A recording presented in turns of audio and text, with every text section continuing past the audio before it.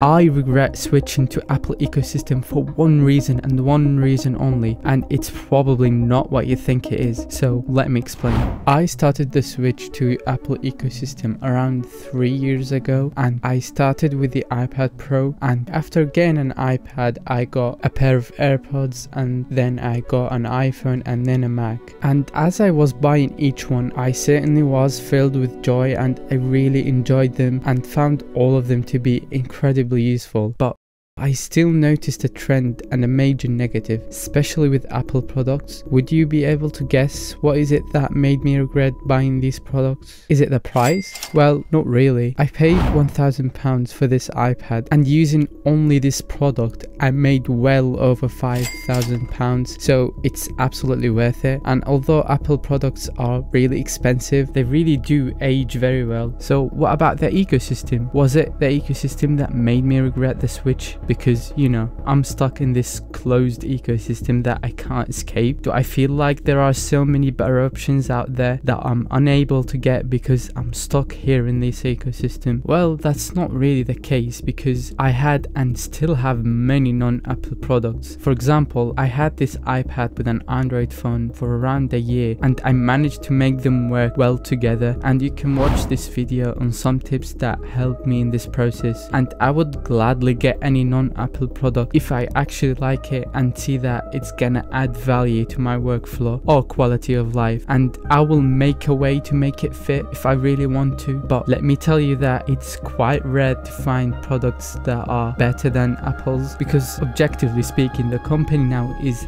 at its peak in almost every single tech category. Well then, is it because of the lack of customization in Apple products? Do I hate the fact that my Apple products look exactly the same as any other Apple products for other people? Actually, not really. I couldn't care less about customization and my approach to technology is more of a minimal approach and I prioritize what works well over what looks better. But with that being said, the number one complaint that I've had with this switch to Apple ecosystem is not actually the products themselves, but rather the attitude that I've had in the result of switching. It's this one thing that I and perhaps many people experience every time we buy an Apple product.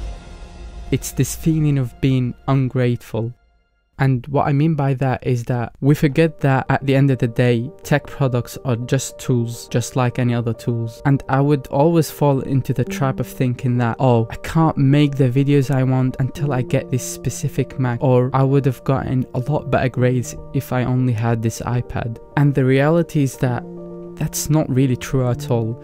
I see so many people online make the same mistake over and over again in reality, the fanciest laptop or iPad is not gonna get you the highest grades.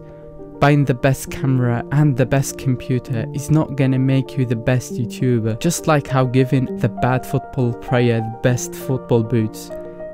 It's just not gonna make any difference because the player is just bad, and having good football boots is not gonna change that. Although I'm the biggest believer that tech products are really important and that they can change your life, but I now think of them as amplifiers. They just amplify and enhance who you actually are. If you are someone who doesn't work hard and get distracted easily, buying the best tech products is not going to change anything and it will only distract you even more and make the situation even worse. So, what I learned is that before I buy any tech product next time, I will ask myself, do I actually deserve this?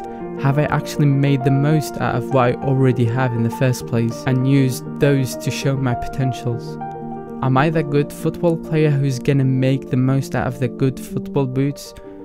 And I encourage everyone to ask themselves the same questions so that they don't regret anything in the future. Watch this video if you want to find out if AI can replace tech reviewers and thank you for watching.